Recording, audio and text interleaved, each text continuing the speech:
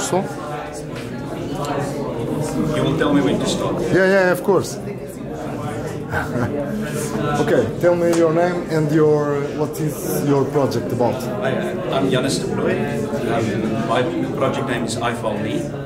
It's a single platform for exchange where business and consumer can share documents, um, putting the consumer in charge of his own identity and his own documentation. Okay, and uh, your goal here with Credible? My goal is to find a European partner that can take this to market, that disrupt the market and give the consumer back his information, putting him in charge of his own identity and his own personal information. Okay, that's great. Nothing else.